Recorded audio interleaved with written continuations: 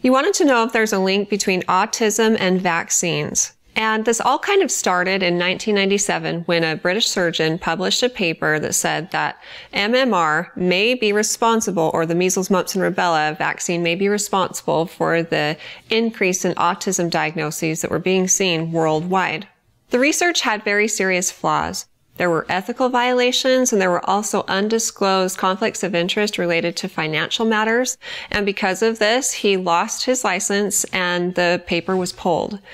Now, people did take the hypothesis seriously. Everyone wanted to know, well, is there possibly a link between autism and vaccines?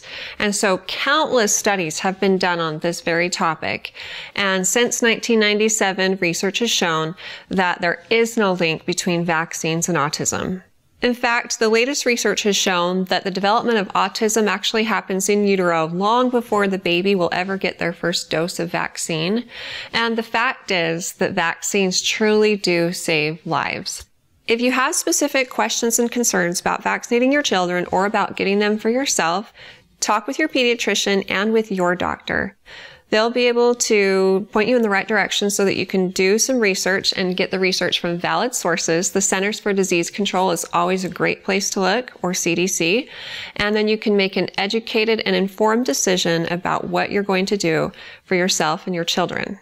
If you have more questions in the future for me, feel free to ask them on our Facebook page at facebook.com forward slash Intermountain Moms and recommend us to your friends and family too.